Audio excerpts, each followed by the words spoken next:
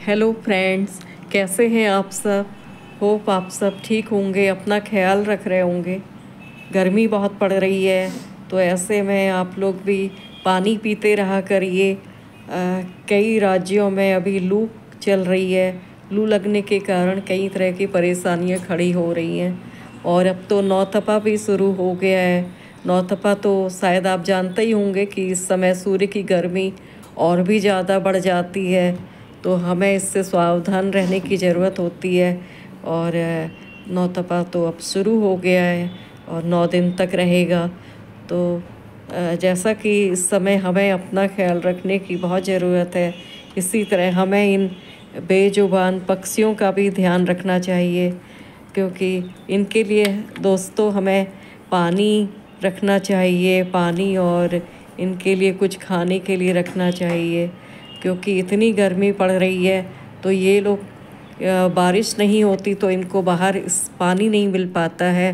और तो इसलिए हमें पक्षियों के लिए पानी का इंतज़ाम करना चाहिए। और इस समय हमें हो सके तो हमें कुछ पेड़ लगाने चाहिए जिससे कि हम ये लोग उसमें क्योंकि धरती से पेड़ ख़त्म हो रहे हैं तो इनको रहने के लिए कुछ जगह कम पड़ गई है, सब जगह बिल्डिंग्स बनती जा रही हैं। तो हम लोगों को एक वो करना चाहिए, सबको एक एक पेड़ लगाएँ। तो गर्मियों में उससे टेम्परेचर भी ठीक रहेगा। जिस तरह से हम लोग अपने बर्थडे पे केक कपड़े और गिफ्ट में इतना खर्चा करते हैं, उससे तो अगर हम लोग एक एक पेड़ लगाएँ तो इन पक्षियों को और उसमें क्यों ना एक एक इनके लिए घोंसला लटका दें।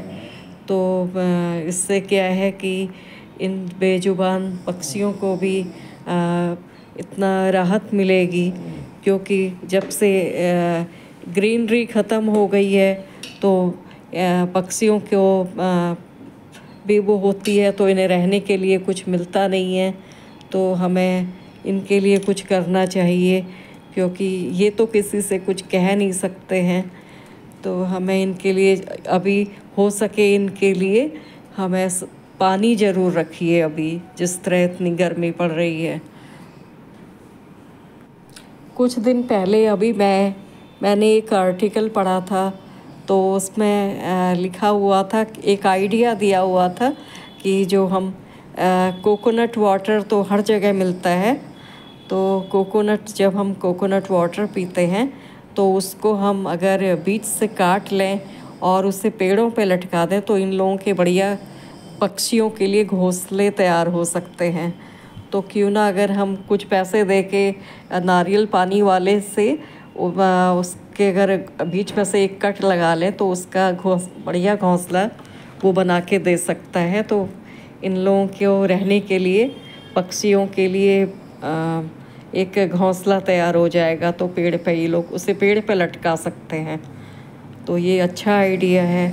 और बाकी जैसे अभी बच्चों की वैकेशन, समर वैकेशन स्टार्ट हो रही हैं तो बच्चे उनके पास भी करने के लिए कुछ नहीं होता है तो बच्चे मोबाइल या टीवी पे बिज़ी रहते हैं। तो उनको कुछ ऐसे वर्क जिसमें कि वो कार्डबोर्ड से चिड़ियों के लिए घोंसला बना सकते हैं और उसे अपनी बालकनी में या बाहर रख दें।